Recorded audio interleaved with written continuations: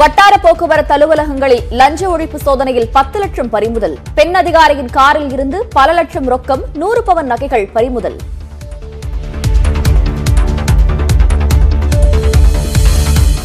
புதிய செயற்கைக்கோளை வரும் பதினேழாம் தேதி ஏவுகிறது இஸ்ரோ.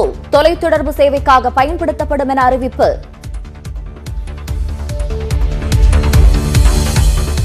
தமிழகத்தில் அரசு விற்பனை செய்யும் அம்மா சிமெண்ட் விலை உயர்வு நூற்று தொன்னூறு ரூபாயில் இருந்து இருநூற்று பதினாறு ரூபாயாக அதிகரிப்பு.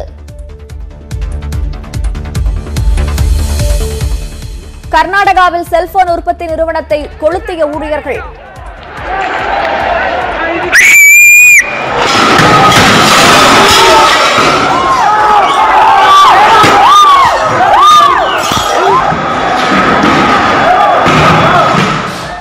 சம்பளம் குறைக்கப்பட்டதால் ஆத்திரம்.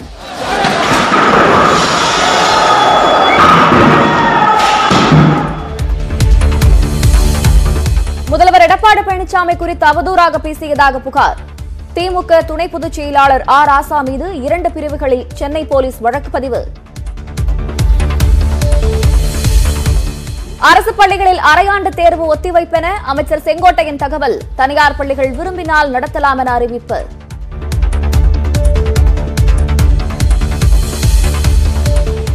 ரஜினிகாந்தன் பிறந்த நாளை கோலாகலமாக கொண்டாடும் ரசிகர்கள்.